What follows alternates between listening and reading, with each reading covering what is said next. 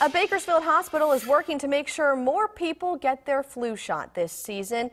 The San Joaquin Community Hospital hosted a flu drive, a flu drive-through that is. Earlier today, anyone 18 and older was able to get a flu shot for free without stepping out of their car at all. A spokesperson for the hospital says the flu changes every year. New strains are introduced.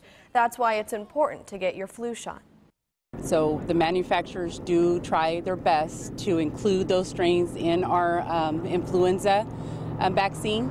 And so that's just one other way that you know you have to you have to get this flu vaccine every year so that your um, body is building antibodies against this strain. That's fine. Okay. Vega also says they use a dead virus in the vaccine so you cannot get sick from the flu shot.